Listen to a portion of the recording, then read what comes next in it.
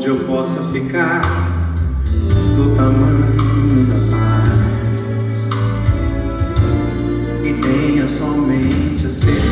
dos limites do mundo e nada mais.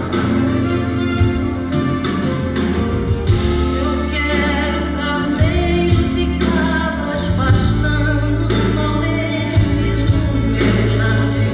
Eu quero o silêncio das línguas cansadas. Eu Quero a esperança